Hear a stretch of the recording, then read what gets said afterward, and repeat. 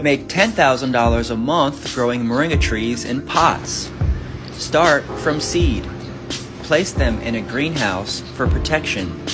That way they'll grow nice and big.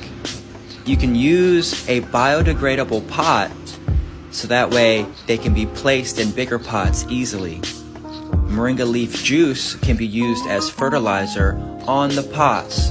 Spraying them with organic fertilizer, you can place these seedlings in larger pots, regularly stepping them up. Moringa is one of the fastest growing trees in the world, and it's one of the most valuable cash crops. Place them in partial shade, water, and they only increase in value over time. The trees will get bigger and bigger each day. Cut them back, and they'll just regrow new stems. Sell the large trees for $100 each, or even offer